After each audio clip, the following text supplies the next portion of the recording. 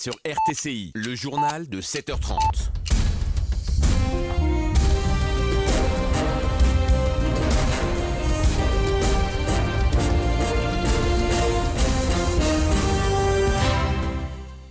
Avec euh, au sommaire euh, ce matin, Youssef Ched promet que les terroristes seront arrêtés et jugés selon la loi antiterroriste dès leur retour en Tunisie.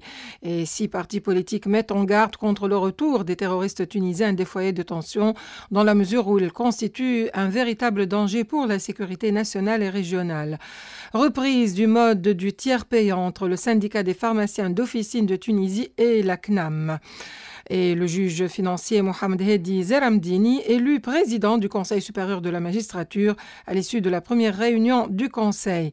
À l'étranger, le cessez-le-feu instauré hier à minuit entre régime et rebelles syriens, globalement respecté ce matin en Syrie.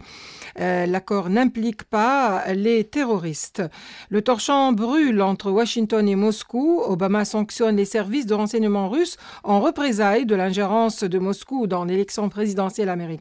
Le Kremlin promet de son côté des mesures de rétorsion adéquates. Du côté du ciel, il y aura des nuages sur le nord et les côtes est avec quelques pluies isolées et des valeurs en baisse. Les maximales varient entre 12 et 16 degrés.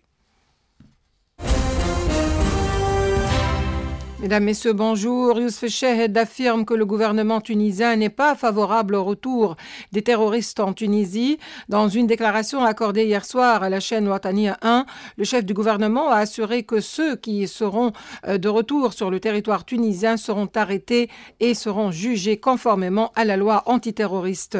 Mais euh, par de là, le débat sur le retour en Tunisie des Tunisiens qui ont fait la guerre dans plusieurs foyers de tension, une autre question se pose avec insistance quelle est la responsabilité des pays d'origine dans la radicalisation de leurs ressortissants? La question est d'actualité après l'attentat de Berlin qui a révélé que l'auteur de l'attentat Anis Amri n'est pas né terroriste mais s'est bien radicalisé en Europe, plus précisément dans la prison en Italie puis en Allemagne. Il n'est pas le seul d'ailleurs, d'autres attentats ou euh, euh, ailleurs ont été perpétrés par des jeunes binationaux euh, qui se sont abreuvés de la doctrine de la mort en Europe même.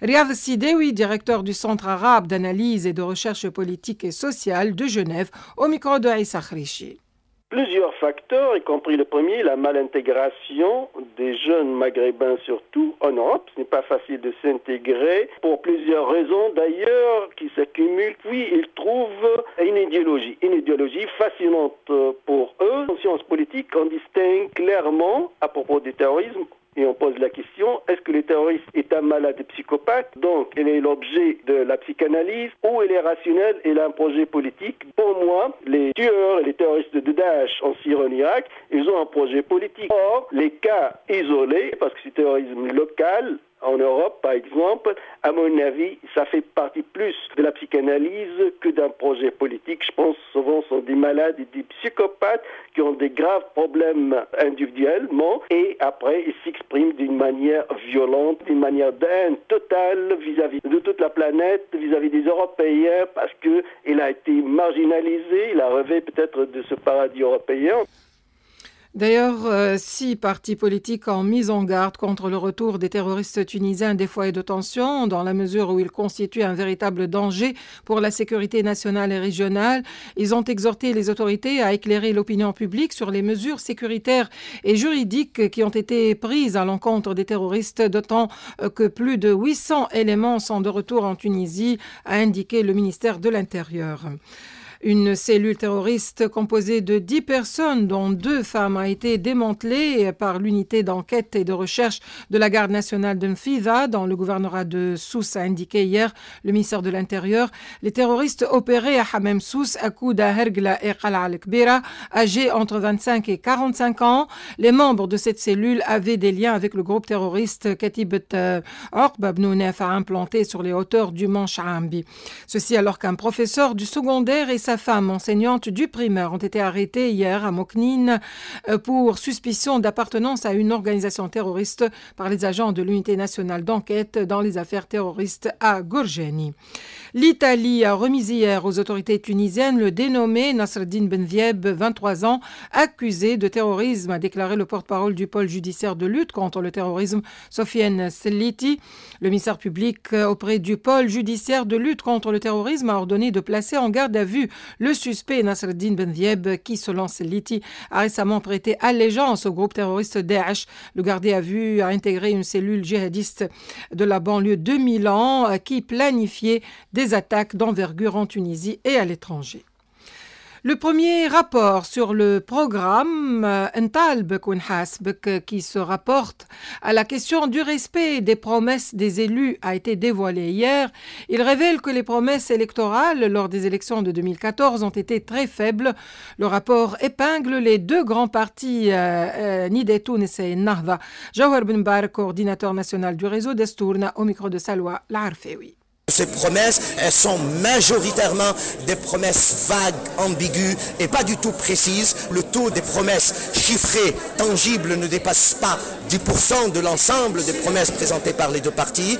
Nous avons aussi constaté l'absence de promesses tangibles et même toute forme de promesses dans un certain nombre de secteurs clés. Par exemple, dans le secteur de la jeunesse, au niveau de l'enfance et la petite enfance, zéro promesse de la part des deux partis. Au niveau des personnes handicapées, zéro promesses, que ce soit sur les trois secteurs sur lesquels on a travaillé, c'est-à-dire le secteur économique, le secteur social et le secteur jeunesse, éducation, enfance et loisirs. Les deux parties sont très loin de réaliser leurs objectifs. Parfois, les résultats étaient négatifs, c'est-à-dire, par exemple, dans le secteur financier, Nidatounous a réalisé moins 140% de ses objectifs. Nav a réalisé moins 7% de ses objectifs. Dans l'actualité nationale toujours, le juge financier Mohamed Hedi Zaramdini a été élu président du Conseil supérieur de la magistrature à l'issue de la première réunion du Conseil. Ahmed Sweb, qui vient d'être nommé porte-parole euh, du euh, Conseil supérieur de la magistrature, a souligné que les conseils de l'ordre judiciaire et de l'ordre financier devront se réunir dans les plus brefs délais pour combler les vacances au sein de ces structures. Les Tunisiens vivent au rythme des fêtes de fin d'année. Dans plusieurs foyers, l'événement est célébré avec faste et sans modération. Au diable le régime diététique, mais certaines pâtisseries n'hésitent pas à commettre des abus, notamment sur le plan d'hygiène.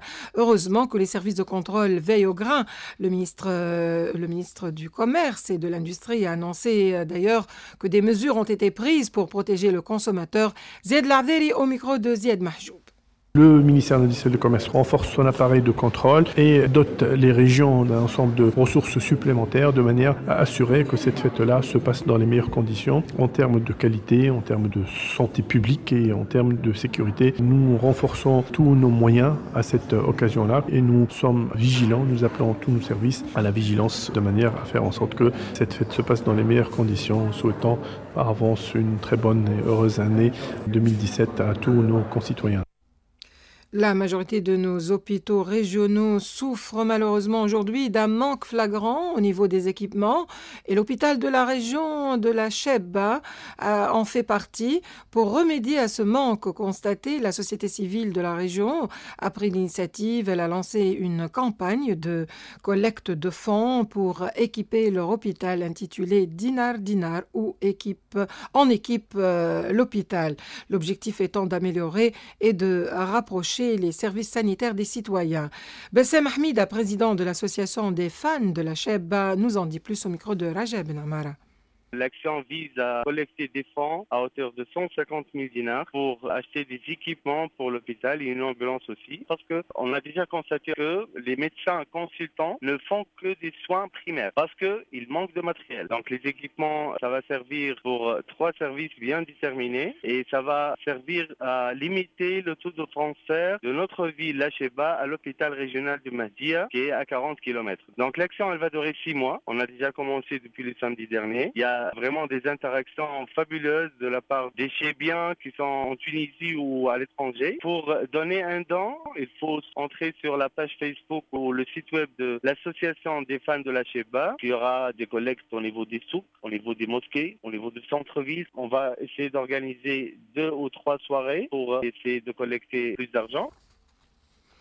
À propos de santé, euh, sachez qu'un accord a été signé entre le syndicat des pharmaciens d'officine de Tunisie et la Caisse nationale d'assurance maladie, la CNAM, pour reprendre à partir euh, d'hier, donc depuis hier, le mode du tiers payant. Cet accord prévoit notamment l'activation de la commission commune chargée de préserver les relations qui lient les deux parties et de régler les dus financiers des pharmaciens. L'actualité à l'étranger, euh, le cessez-le-feu global en Syrie entre régime et rebelles euh, entré en vigueur à minuit a été globalement euh, respecté. L'accord censé ouvrir la voie à un règlement du, conflit dévastateur dans ce pays qui est la Syrie est intervenu exactement une semaine après la reprise totale de Halab, de la ville de Halab par le régime syrien soutenu par son allié russe. Euh, un commandant militaire du groupe euh, terroriste État islamique, Abu Jand el-Kuwaiti, a été tué au sud-ouest de Raqqa, dans le bastion de l'État islamique en Syrie, dans un bombardement de la coalition menée par les États-Unis qui combat le mouvement terroriste